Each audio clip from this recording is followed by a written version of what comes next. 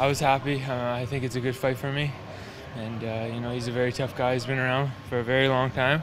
I've been watching him since I was I was just a little kid, you know. So he's another one of those guys that you know I, I watched growing up that I get to fight, you know. So it's a, it's an honor, and I'm I'm looking forward to it. I think uh, it will be a very dominating performance. You know, I think uh, I'll, I'll be able to shut him down in every field of MMA.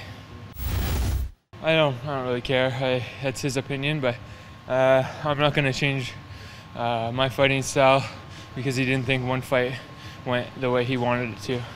If you looked at my past fights and my record, I'm a finisher, and uh, you know he's been. He, everybody's always been happy with the way I fought before.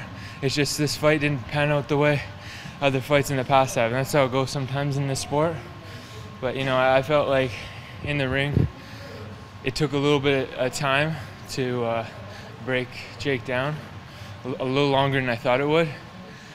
And uh, he wasn't willing to, to fight. You know, he, he was sitting back on his heels and he was getting jabbed, picked apart. So, you know, I fought the way I should have, in my opinion, but Jake didn't fight back and uh, you know, if I, I, felt like if I had a little more time, I could have, uh, I could have finished him.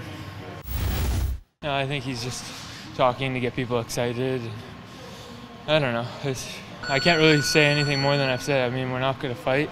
Me and Georges are good friends, and we train together every day. And that's just the way uh, we ha- That's the way we are at TriStar. We're not going to fight each other.